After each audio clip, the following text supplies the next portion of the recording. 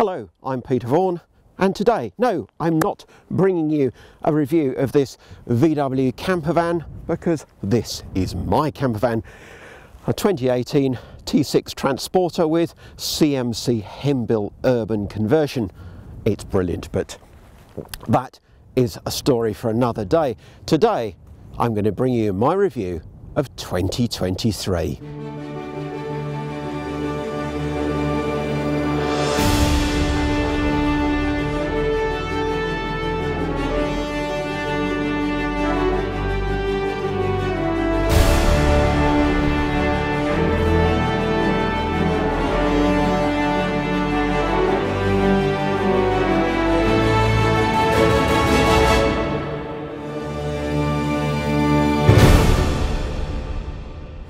First of all, I want to thank you all because now in mid January 2024, we've reached 81,305 subscribers. And looking back at the past year or 2023, the most popular video of the year was, perhaps unsurprisingly, the Hymer Venture S, with 281,104 views during that year. Our top viewing days were Tuesday the 17th of October with over 41,000 views. Well, that was the first day of the big NEC motorhome and campervan show in uh, in in uh, October, so that's perhaps unsurprising. And the other top day was Monday 24th of April, the day after the National Motorhome and Campervan show at Peterborough. Now that show moves to Newark on a later date in June for 2024. So if you're looking for a new camper van, make sure you go to that show. It's the, the biggest of the outdoor shows, National Motorhome and Campervan Show. Now, as for the vans we reviewed during 2023, well, the first test of the year um, down in Salisbury was the Adria Supersonic 780 SL, their new Mercedes based low profile. Now, it wasn't a good start to the year for me because I had terrible sound issues when recording that, that video. But despite that, I still enjoyed the van. It had great, crisp, modern interior design, sort of thing you expect from Adria now, and a very, very high spec as standard, a lot more equipment as standard than you'd get, say, on most German comparable A-class motorhomes.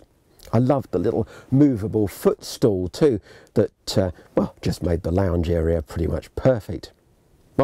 Not quite perfect because the second A-class motorhome, or the second motorhome that I reviewed in 2023 was the Carthago Liner for two, the Iveco based version and that I have to say was my favourite lounge of the year.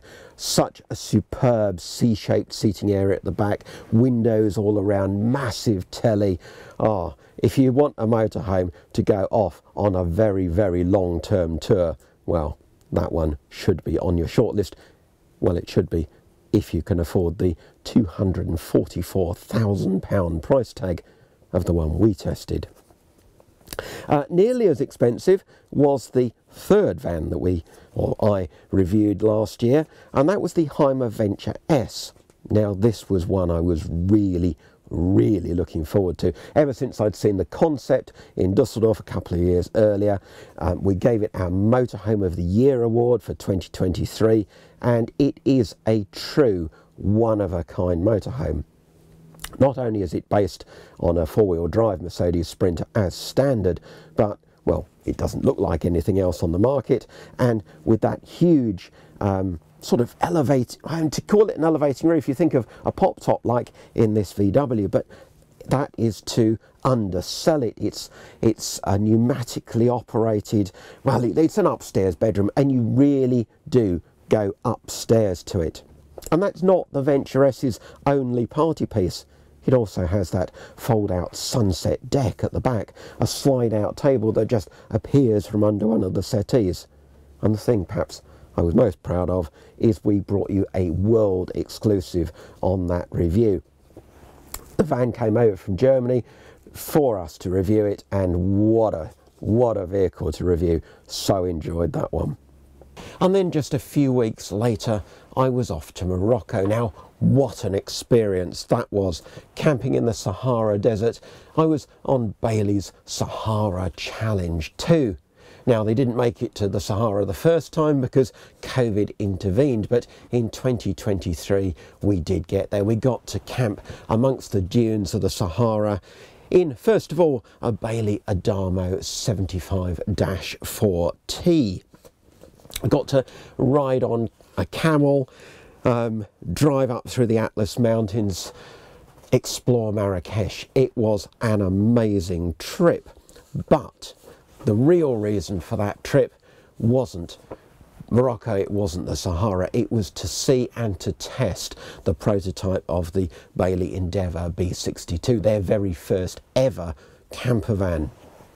Yes, it's a conventional rear lounge two berth, but it's on a Ford Transit, which has given Bailey quite a few challenges in making that classic layout fit in the Ford rather than the perhaps more uh, accommodating box of the back of a Fiat Ducato. But they've solved those challenges really, really well. And as a result, that vehicle was voted best large camper van for 2024, a well deserved reward. After shorts and t-shirts in March, it was back to the UK and back into long trousers.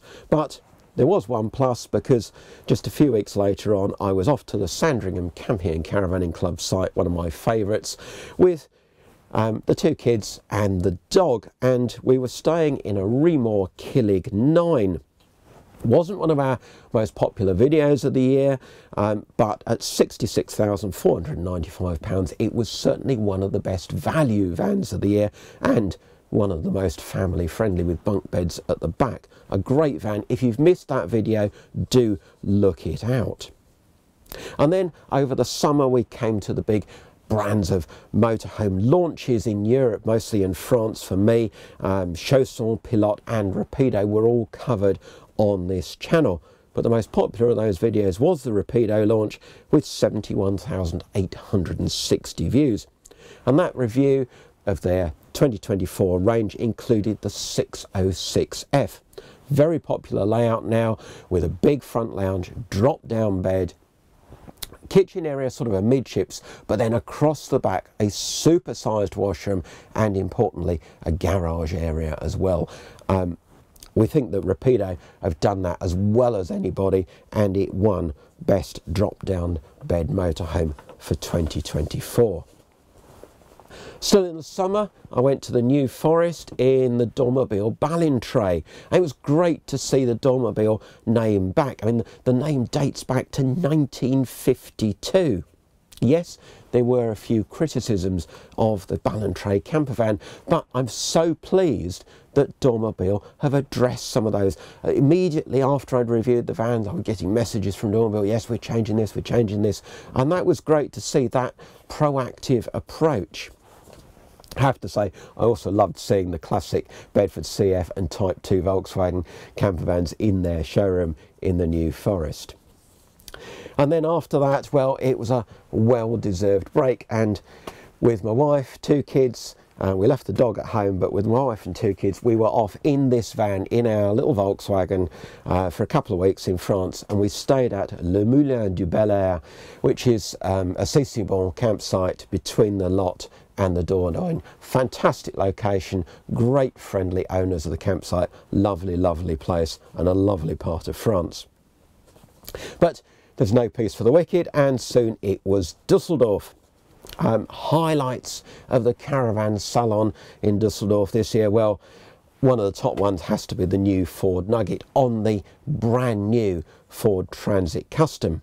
But vying for top slot was also the new California from Volkswagen. Obviously, those two compete very much in the compact camper sector.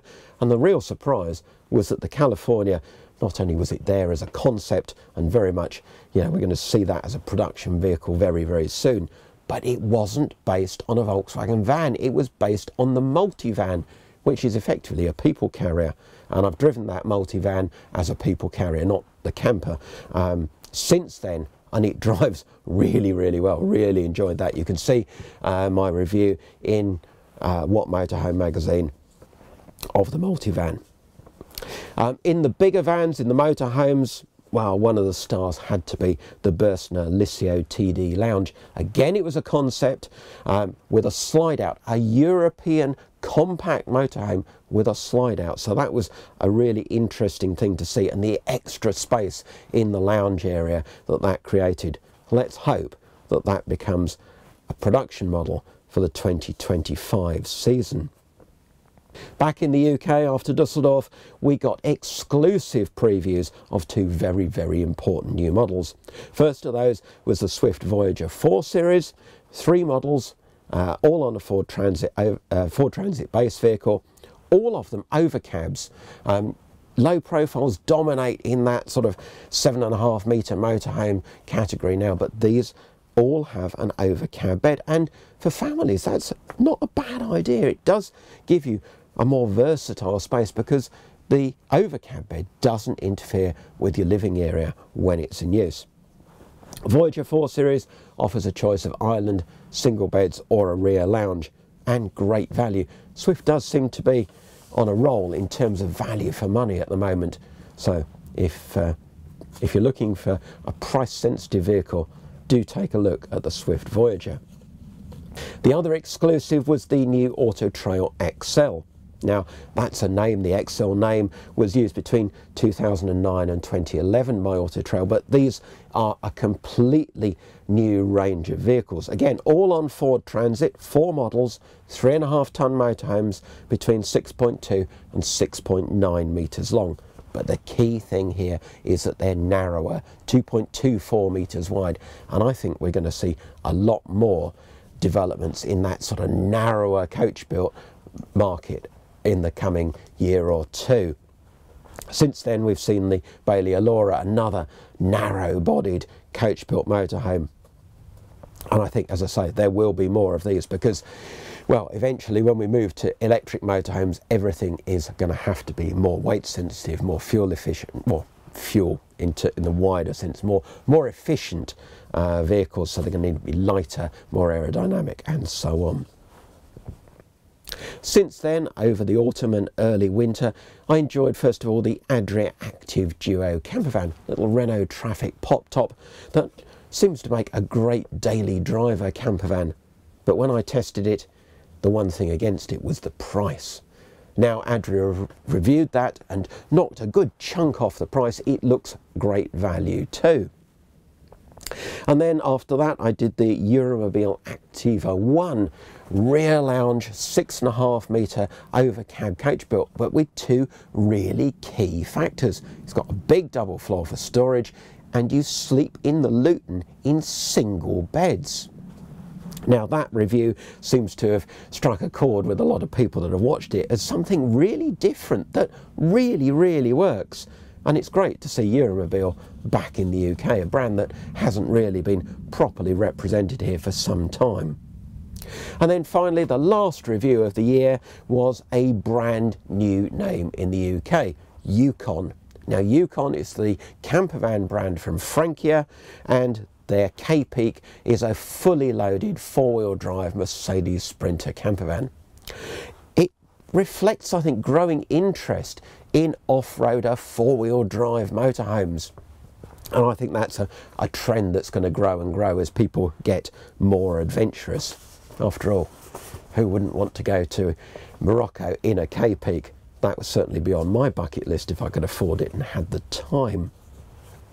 Then 2024, what have we got coming up? Well, of course, we've got reviews of the Motorhome of the Year 2024 and the Campervan of the Year 2024. They've been booked and are on the way. We'll also be testing very soon a new British motorhome that I'm going to be trying in the Dolomites in the winter. It's promising to be seriously cold and snowy, so you see how I get on with that one. I'm hoping too that we'll be able to bring you some more competitively priced motorhomes. Prices have been spiralling in the market and too many vans now are 80 grand plus. Let's see if the industry can bring us some new, more affordable vehicles. I'm not holding out my hope that the price is coming down, but at least if they can steady a bit. And then there are some really exciting developments on the base vehicle front. Of course, there's the new Ford Transit Custom, which I cannot wait to get behind the wheel of, especially if it's the Nugget camper van. And of course, very, very closely related to the new Transit Custom is the new Volkswagen Transporter.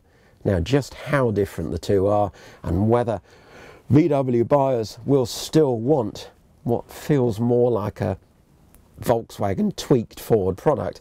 Let's see how that one pans out. Then there's the big facelift of the Fiat Ducato. The Series 10 will be out hopefully in the summer. It gets a new front, new look, and an 8-speed automatic gearbox replacing that lovely 9-speeder. So let's hope that's still good to drive. And then there's a brand new, all new Renault Master. I wonder if that will see a return of Renault coach-built motorhomes. Now, the old Master back in the day um, had advantages over some of its rivals. It was a bit more economical. It had a smooth, comfortable ride. So I'm really holding out my hopes that Renault will perhaps uh, bring some new things to the motorhome market. But I have to say, the most important message of all is thank you all for your support. Thank you for supporting this channel. Thank you for those of you that like the videos, those that subscribe. It really, really does help us to bring you this content and keep bringing it to you. Don't forget, if you subscribe to the channel, you will get notified of all our videos as they go online, and that does help for us to bring you this content. Now, I'm just looking forward to some better weather to get away in my van. Thanks for watching.